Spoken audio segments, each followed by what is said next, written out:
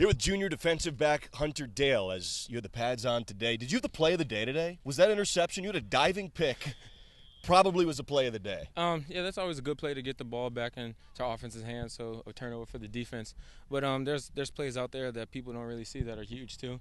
But uh, obviously turnovers are always big. What's the stuff out there that people don't see that don't have statistics that you feel like you did well today? Um, people doing their job, like leveraging a block and somebody else getting a tackle. Nobody sees that. They just see the person that gets the tackle. Um, also, somebody just uh, completely locking somebody down to where the quarterback can't even pass it to him, and then he has to scramble, and then he throws it somewhere else. They don't even see that type of stuff, and that's big plays for us.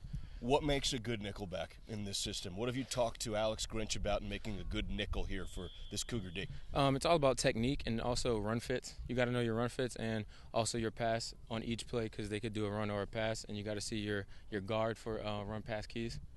How different has it been? Because you've primarily been special teams. Yes, sir. You're a junior now, so for two years, you last year you had eight special teams tackles or eight tackles in total on the year, nine career tackles, and potentially now fighting for a big spot. So how different has it been for you? From the coaching perspective, you know, what have they been communicating to you and trying to get you ready for some of those live snaps? Yeah, um, this summer I worked big on just dropping a lot of weight from going from 210 to 190 now uh, to get quicker to guard slot receivers and everything in the Pac-12 because you know they're quick. Um, also, so I can move around the field and go make some plays that technically aren't always there for me. So you got sometimes you got to go find plays. Um, also, talking to Grinch and Manning, they just want you to be a football player. They don't want you to do anything else to go try and make a play that you're not supposed to go make. So just do your job. So you, have dropped 20 pounds. Yeah.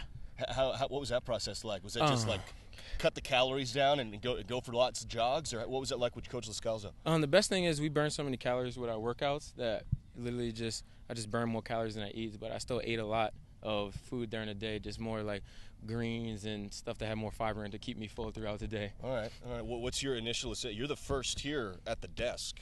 What do you think? I, th- I think it's a good addition. I like the desk and I like the the backdrop, backdrop and everything. Here. It's yeah. great. little, little step in the game up a little bit. So I'm the first one here. Uh, you're the first one. Oh, you're the guy. Before Leach, you're, you're, the guy. Oh, you're, wow, you're the that's guy. crazy. Yeah, yeah. You tell, and you make sure Coach knows it. I'll you, let him you know. You make sure to tell him. I will let him know. All right, Hunter Dale. Thank you, buddy. Thank you. Appreciate it.